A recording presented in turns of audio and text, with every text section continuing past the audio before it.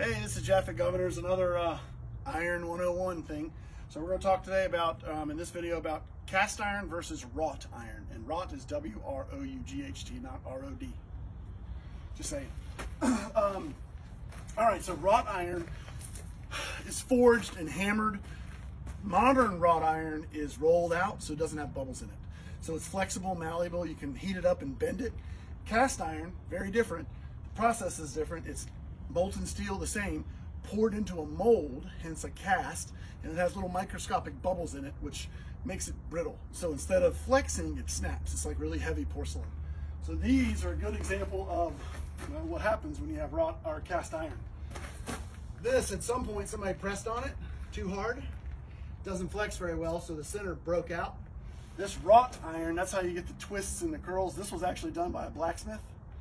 Gets hot, they smack it with a hammer, twist it, and it'll bend because this one was, again, wrought iron versus rod, and it doesn't have any bubbles in it, so you can bend and it's real flexible.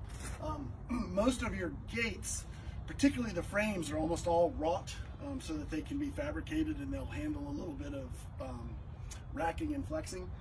This fence here is cast iron. Cast iron is also extraordinarily heavy.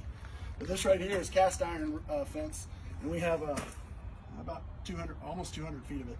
But each one of these panels weighs three, 400 pounds. These long ones weigh about five or 600 pounds.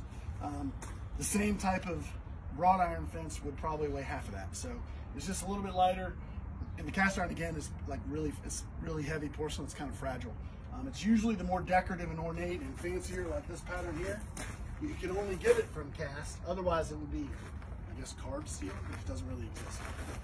Cast versus wrought. Big differences in the fabrication world. Cast iron is very, very difficult to repair.